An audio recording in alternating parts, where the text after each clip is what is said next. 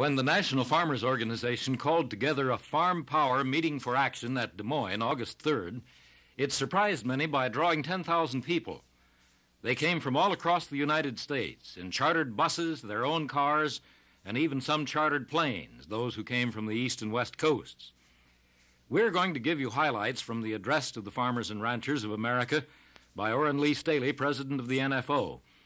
But first, here's a view of the unusual nature of the turnout by an experienced farm news director from one of Iowa's leading farm stations, KMA Shenandoah. We talked to Creighton Canal of KMA. Creighton, you've covered a lot of farm meetings. Did the size of this crowd surprise you? Yes. I was uh, surprised the fact that you could get farmers at this time of the year to get together for the discussion of mutual problems. I think that farmers in general are finding that they do have some power, but they've got to get together and get it done. I think they're getting more and more interested in what happens in their organizations today than they have in, in let's say, the immediate past because I don't think they're sitting back and buying this idea that the farmer has no voice in anything that happens. I think they're finding that they can have a voice if they get together and show that they have things that they want to do. And now, highlights from Staley's address to the Des Moines crowd. He makes this comment on one of the most frequently recurring topics at any farm gathering Can Washington solve the farm problem?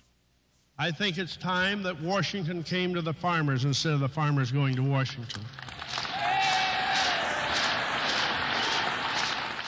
After Staley outlines NFO objectives, and after discussion during the afternoon, a resolution came from the floor urging a program of increased farm production going through NFO.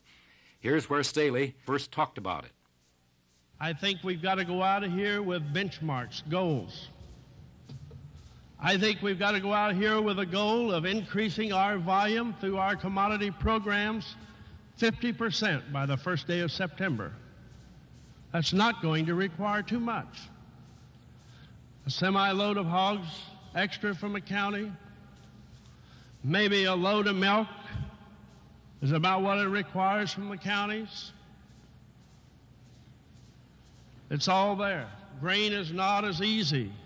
You know what? If we don't get grain stored at harvest time, we're going to kill the grain market for the next four or five months if this crop develops. We'd better learn that grain program requires two things. One is having your own storage at harvest time so you don't dump it on the market, and the other is moving it in orderly marketing. And Staley refers to the March 1st moving day tradition of rural America. There's one day that used to be known and is still known as moving day in this country in rural areas, and that's March 1st. We like to be able to move into cost of production plus reasonable profit contracts on moving day next spring before another crop goes in.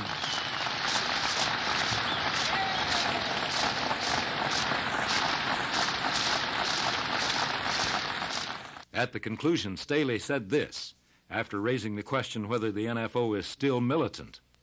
I want to see us give the companies of this country an opportunity to sign contracts at the cost of production plus a reasonable profit when we have the production going together and united. And if they don't, I'll be the first to call with the dynamic, loudest voice that I know how that we go on strike or have a holding action until the food's not available to the people in this country until they pay the price.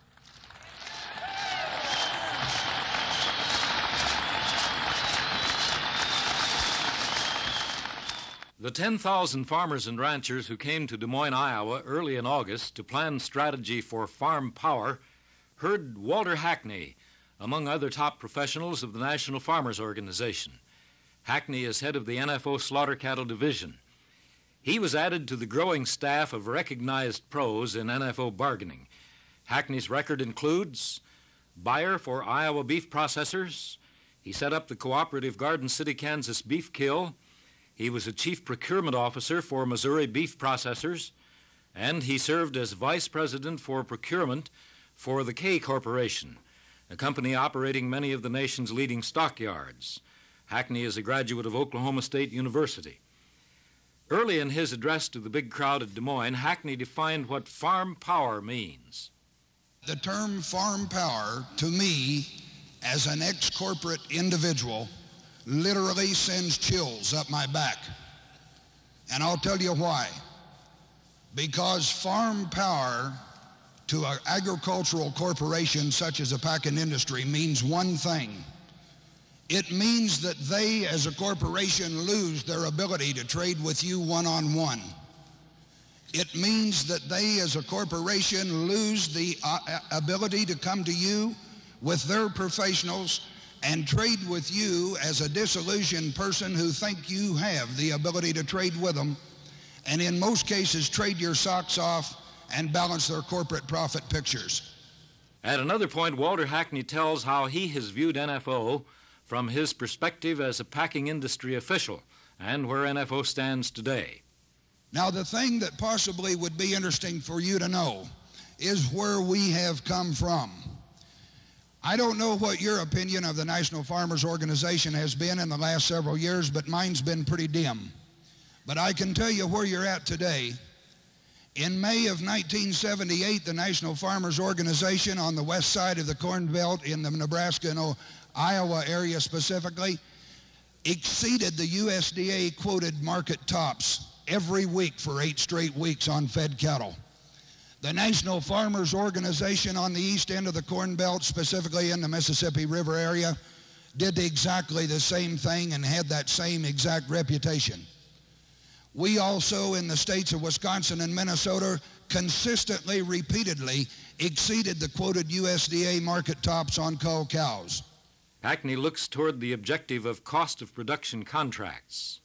If you will give me the extra additional volume that I require to go to these packers tomorrow and tell them that we, in fact, at this time do have the extra volume they ask for, that I want a cost of production contract plus a reasonable profit, that is at the time that we shall get it. Now, I can assure you of one thing. This is not a mystic goal that I'm reaching for.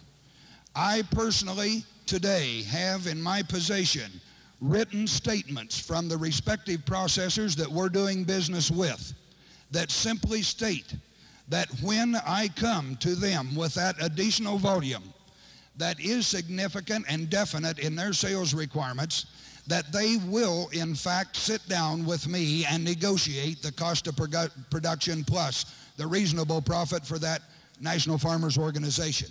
That was Walter Hackney, head of the Slaughter Cattle Division, as he addressed the big farm power meeting at Des Moines, called early in August by the National Farmers Organization.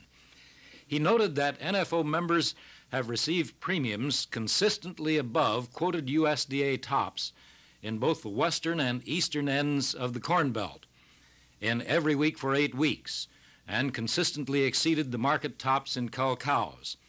He also noted that packers have given written statements assuring negotiations for cost of production contracts when NFO volume reaches a level that would justify such contracts. At the big farm power meeting at Des Moines, Iowa, Several of the 10,000 farmers and ranchers who attended early in August will be heard today, just as we interviewed them on the floor and in the balconies. Our procedure was to go from one floor microphone to another to get on the spot conversations with those who had just addressed a question or made a comment to the whole crowd from the floor mic.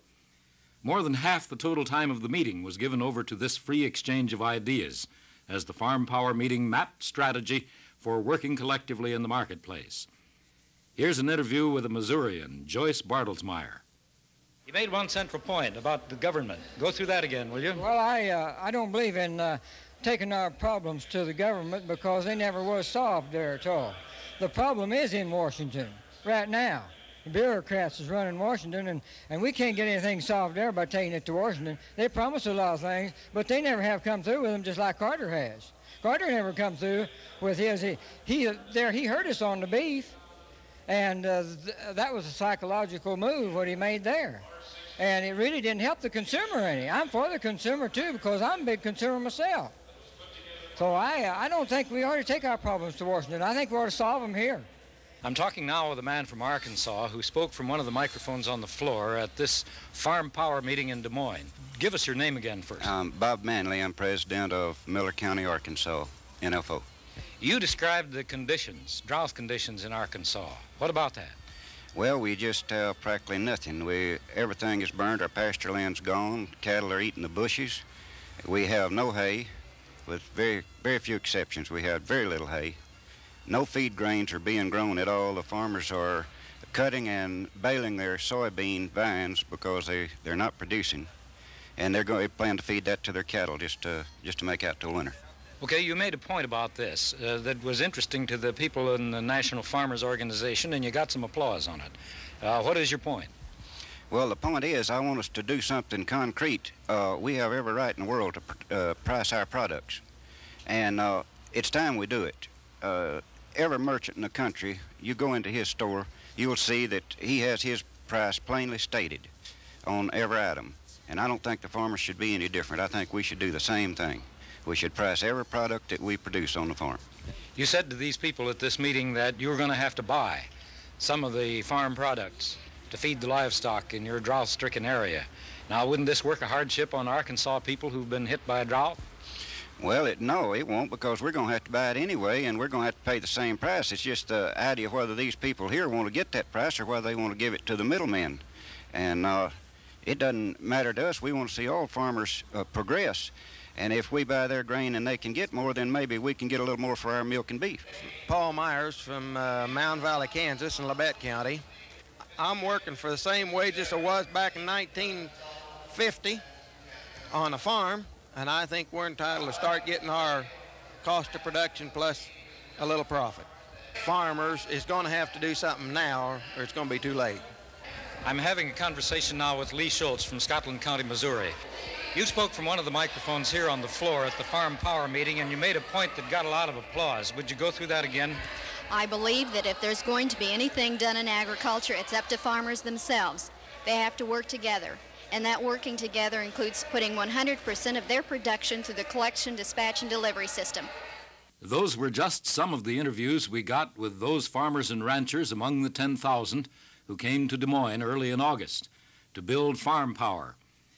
A resolution was adopted to increase by 50% the volume going through the collection, dispatch, and delivery system of the National Farmers Organization, and to build enough volume to get cost of production contracts by the farmers' traditional moving day, March 1st. Also, the NFO's holding action was reaffirmed as a final alternative to backup bargaining processes. Phil Allen for NFO News. And that for today is something to think about.